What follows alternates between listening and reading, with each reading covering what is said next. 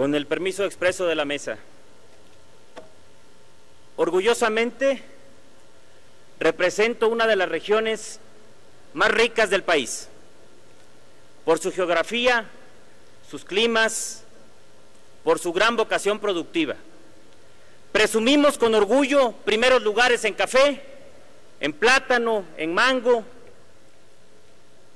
pero también no podemos presumir que no tengamos sectores sumergidos en la pobreza y en la marginación.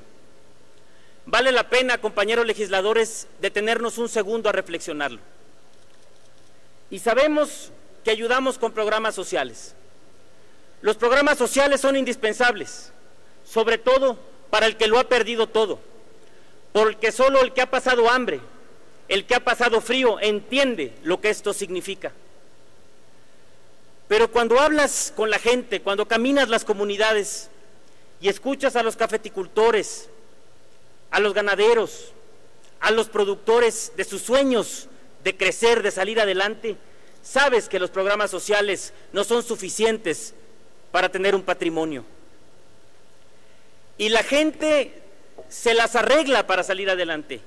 Los mexicanos somos muy creativos. Ahí están las marisqueras de Arriaga, las vendedoras de Nanche, de Acapetagua, los queseros de Tonalá, los lecheros de Mapastepec. Todos organizados en pequeñas industrias que solo dependen de su enorme voluntad y del gran esfuerzo que le ponen a su trabajo. Es ahí donde reconozco que nuestro país es un pueblo capaz y competitivo. Un pueblo que a pesar de sus circunstancias y de su entorno, busca los elementos para hacer frente a la pobreza.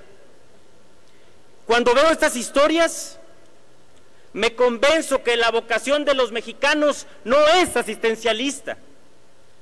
Cuando vemos estas historias, me convenzo que mi pueblo tiene el potencial de desarrollo y que no es justo, que no es correcto minimizar sus capacidades como si la gente no tuviera mayor talento que estirar la mano. A veces solo falta aprender a vender, a comercializar, a transformar la materia prima. A veces solo nos falta encontrar los elementos para que ayudemos a los pequeños productores a llevar sus productos directamente al mercado sin intermediarios. A veces una capacitación, la asistencia técnica, bastan para hacer la diferencia. La pobreza está etiquetada al hambre y no es cierto. A veces la pobreza solo es consecuencia de la falta de herramientas para producir para beneficio de nosotros y beneficio de nuestro país. Así es, señores legisladores. Vayamos respetando a nuestra gente y a sus capacidades. Tenemos un México con un amplio potencial de desarrollo. No es responsable pensar que la única manera de ayudar a la gente es con una limosna que nazca de las arcas del gobierno. No podemos dejar de pensar así. Hay que cambiar a una visión progresista y de desarrollo, con programas sociales que fomenten la productividad y el desarrollo económico, detonando las, potenciales, las potencialidades individuales y la vocación productiva de las distintas regiones del país. Tenemos que dejar de ser el principal benefactor de la pobreza y convertirnos en el principal benefactor de la riqueza a través de la productividad. Por eso hoy, señores legisladores, desde esta máxima tribuna del país, Quiero reconocer al Ejecutivo Federal su atinada visión en materia de desarrollo social y de fomento a la productividad y a la dignidad laboral de los mexicanos. Por eso estoy convencido que es un gran acierto que Cedesol tenga bien dirigir los programas de fomento a la economía social.